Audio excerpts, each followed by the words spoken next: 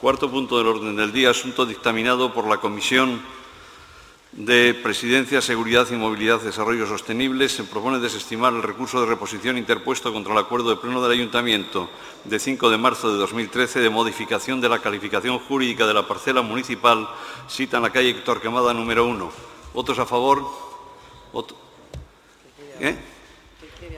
Señor Busto, sobre este tema entiende la Presidencia que se ha debatido reiteradas veces en el Pleno y ahora estamos ante un asento puramente jurídico. En todo caso, si quiere intervenir, le concedo un minuto.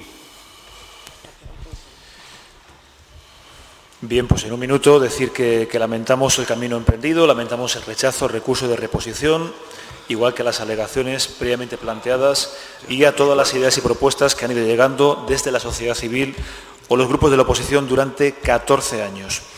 Bien, eh, ahora se ofrece una salida más que de más que dudosa necesidad para el barrio y lo cierto es que nos encontramos con que si uno entra en el barrio por la calle Mirabel se encuentra el antiguo Instituto, de Santa Teresa abandonado y degradado hasta el punto de que ha habido incluso incendios.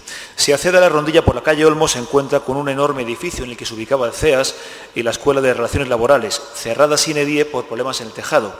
Y si accede por Cardenal Torquemada se encuentra con el desvencijado San Juan de la Cruz. No son casos únicos en Valladolid, lamentablemente, y vienen a mostrar desidia, dejadez y falta de perspectiva social y económica para optimizar espacios en vez de abandonarlos. Muchas gracias. Pues eh, también por un minuto, señor Izquierdo. Sí, muchas gracias, señor alcalde. Realmente esto no es una cuestión estrictamente jurídica. Evidentemente esto lleva a una tramitación administrativa que, bueno, vamos a dar por supuesto que está bien realizada, aunque a veces es mucho dar por supuesto. Pero en todo caso tiene un componente eminentemente político que es el que motiva la decisión.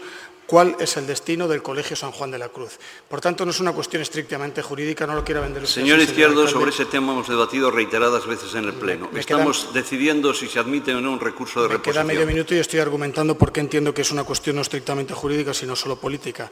Entonces, señor alcalde, el- la motivación es estrictamente política, como digo, que es cambiar el uso para que usted pueda intentar darle una salida que no es la que quieren los vecinos. Yo no entiendo por qué tantos años de empecinamiento en no hacer algo de acuerdo con los vecinos. Usted parece que cuando alguien le dice que no, se pone todavía más en contra de esas propuestas. Y yo, sinceramente, es una dinámica y es una, y es una dialéctica que usted mantiene con el vecindario que yo no alcanzo a entender.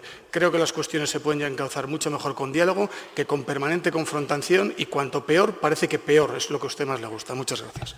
Gracias, señor Izquierdo. Se somete a votación el punto cuarto del orden del día. Votos a favor, votos en contra. Se aprueba con 17 votos a favor y 12 votos en contra.